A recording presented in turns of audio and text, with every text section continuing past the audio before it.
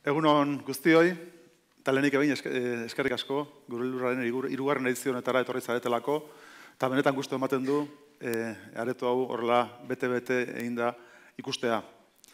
E, gure lurra antolatzen hasi ginean guk helburu garbia nukan. Helburua zan, e, Xabierrak aipatzen zuen bezala, baserriaren eta kalearen arteko topaketa bat egitea. E, topaketa horrek behar zuen azan nagusiki, ezagutza, elkar ezagutza sustatzea, eta ezagutza horrek ekarri bar zuen errespetua. Eta errespetuak altzen nuen erre baita ere maitasuna, baina nik uste dut funtsezkoa gaur oreka izango badima da konzeptu nagusia gaurkoan, errespetua eren eretzako funtsezkoa da. Errespetu hori sustatzea eta bultzatzea. E, hori, e, hitz hori, bueltaka, anedota kontatuko dizuet ezaguna dana, eta da, mila behatzerun da, irurogeita behatzean, e, bere momentuan, e, Franco Garaian e, ministro zan, Manuel Fraga, e, urbiara etorri zala.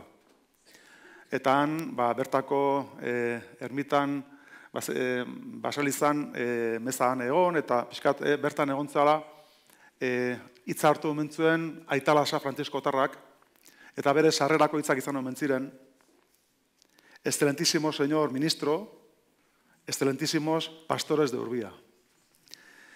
Seguro nez, faraganentzako ez zidan oso hitz politak izango, baina hor, e, garbi dagoena da, ze errespetu zeukan garai hartan aitalasak hartzailegatik, ez? Eta e, ganadu zale eta oroar baserritarren gatik, ez? Eta errespetu hori nik uste dut dela guk e, gure gizarte honetan inkorporatu beharra daukaguna. Gure lurra kongresua, irugarren saioan, irugarren edizioan, e, dijoa ja, arrakastatxo izan dalako, lehenengo biak arrela izan zirelako, eta seguro nago, irugarrengo hau horrelako izango dela, Batipat enfoke berritzailea daukalako. Lehenago ipatu dugun, bat opagune e, enfoke hori. Eta guk uste dugu, e, gaur egun, dagoen, daukagun mundu honetan, gerozta berekoiagoa, gerozta individualistago bat den e, mundu honetan, e, interes partikularen gainetik komunidade balantzeko, e, eta gizarte orekatu balantzeko, gerozta beharrezkoago dela, horrelako ekimen batez. E, nik uste dut, baserriak eta kaleak, bi realitateak elkarren behar daukatela. Noski, baserriak bizi barra dauka, sortutakoa saldu barra dauka. Baina gero kaleak, esigitze ditu baita ere, eh, eta eh, gaurkoan aipatuko dira, elikagai osasungarriak ukitzea, ingurumena zaintzea, aldaketa klimatikoari aurre egitea, paisaia mantentzea eta arlo ekonomikoan ere ba, sektore bat indartzea. Ez? Eta guzti hori eskatzen zaio helen sektoreari, kontribuzio hori, eta beraz, bueno, nik uste dut, beharra ere azpimarratzen dela ez. Nik esango nuke, laburtzeko baita ere ez, guk ezin dugula ereiki Gipuzkoa orekatu bat, lehen sektore indartsu bat eduki gabe Gipuzkoan.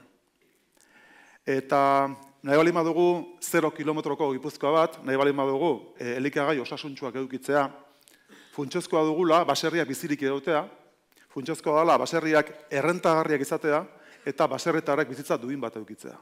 Eta lotzen dugu beraz, kaletarren beharra eta baserria duen beharra. Beraz, izan dezagun errespetua baserriko munduarekin eta baserritarrekin. Hablamos de que Gipuzkoa afronta su futuro, ¿no? Hablamos, por ejemplo, de el nuevo logo y la, el nuevo plan de gestión de la Diputación, que habla de etorkizuna orain, el futuro ahora. Eh, no podemos abordar eh, ese futuro sin tener un territorio competitivo, equilibrado y cohesionado. Y sin eh, si realmente queremos construir una Guipúzcoa del kilómetro cero, una Guipúzcoa eh, que consuma y produzca alimentos saludables, no lo vamos a poder hacer sin tener un primer sector competitivo y sin garantizar una vida digna a los caseros, a las caseras, al mundo del primer sector eh, en Guipúzcoa. Nik bukatzeko esan, aurreko legealdian dagoeneko ja gure ekarpena egin genuela, erakunde bezala, ez lehentasun batzuk ezarri genituen, Alde batetik, belaunaldi berritze arlo horretan inziditu genuen, elkarrekin, e, herri txikien zerbitzuak hobetzea baita ere hobestu genuen eta impulsatu genuen, bestea beste adibidez, banda e, zabal ultrazkarra e, martxan jartzea guretzako oso importante izan da, basogintza arloan esfortzu berezia egin dugu, beharra zegoenean, Eta gero, e, inbertsioak ere egin dira, eta esaten nuen bezala, badibidez, e, e, belaunaldi berriak, e, euren esplotazioak martxan jartzeko eta hor, ba, esfortzu berezi bat egin da. Guk e, egin beharra daukaguna da, esfortzu horrekin jarraitu urrengo ulo urteetan. Hanik gaurkoan, zuen artean, zuen aurrean, e, kompromiso hori hartzen dut. Eh? Jarraitzuko dugula bide beretik, e, paternalismo hori gabe, esan gabe lehen sektoreari zer egin behar duen, e, baizik eta jarrera askoz ere gertuago eta kolaboratzailego batekin ba, eskutik joan ez. ez? Beraz, hemendik aurrera jarraitu dezagun hausnarketan, baina baitik bat jarraitu dezagun elkarlanean. Eskarrik asko.